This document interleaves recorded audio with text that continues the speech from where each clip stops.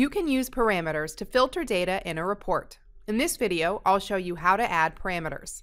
Set some default values. Then, I'll create multi-value and cascading parameters. You'll also learn how to link report and query parameters together. I'm going to start with a master detail report that I've already created. There's already a video available showing you how to set this up.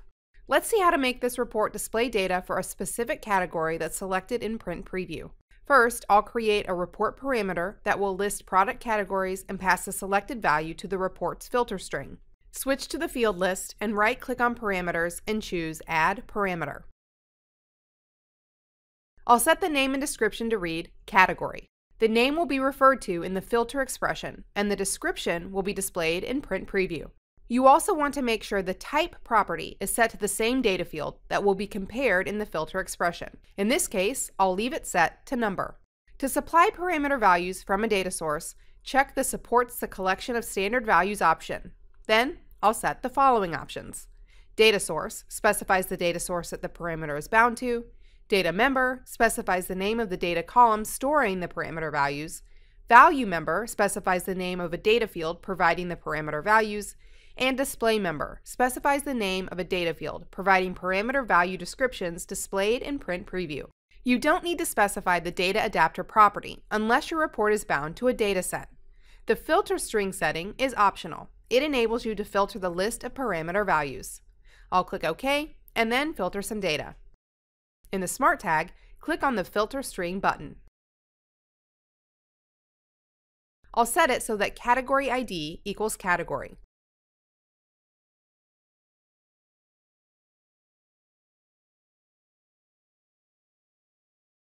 And if I switch to preview the report, you'll see you can filter products according to their category.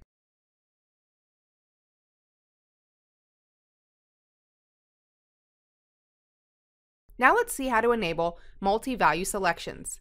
Select Category in the field list and set its multi-value property to True.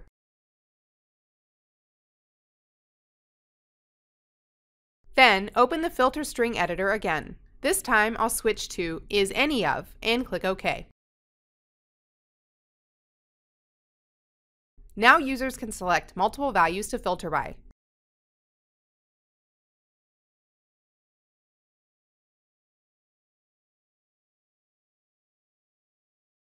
You can also filter the list of parameter values depending on the value selected for another parameter. These cascading parameters will be used to filter data of both the master and detail reports. I'll add another parameter. Set the name and description to product. Check Supports Collection of Standard Values and Allow Multiple Values. Then set all the data values accordingly.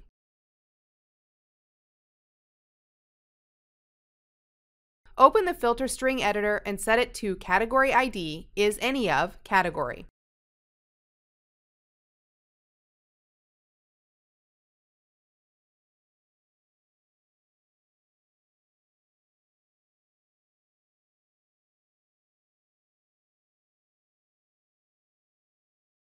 To filter the detail report, click its Smart tag and choose the Filter String Editor.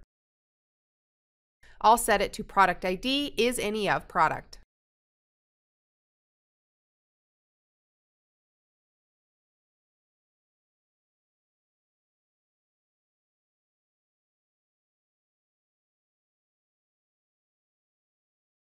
If I switch over to Preview now, you'll see that users can now filter data by category, then product.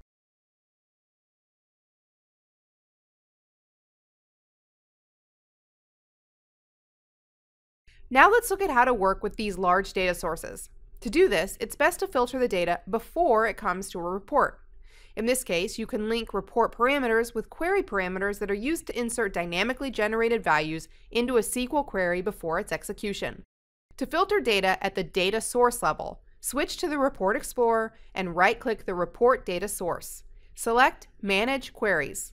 Next, select a query and click its button. In the query editor, click Run Query Builder. Here, click Filter and construct the filter string as required.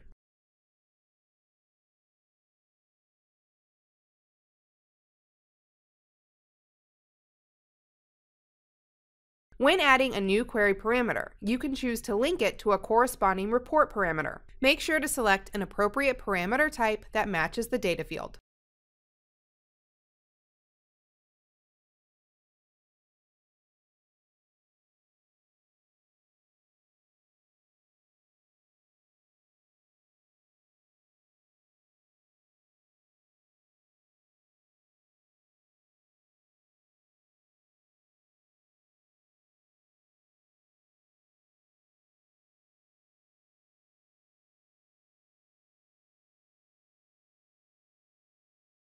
Click OK. You can edit the parameters if you need to by clicking on the Edit Parameters button.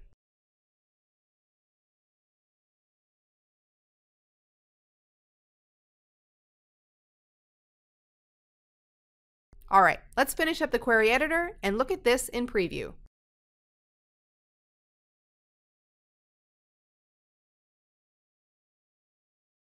Users can now set a minimum and maximum price and filter data accordingly.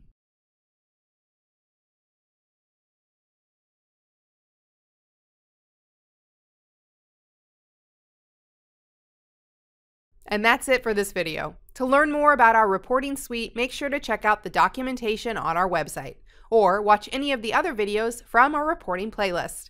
You can also subscribe to our channel and watch all of our latest videos. Thanks for watching, and thank you for choosing DevExpress.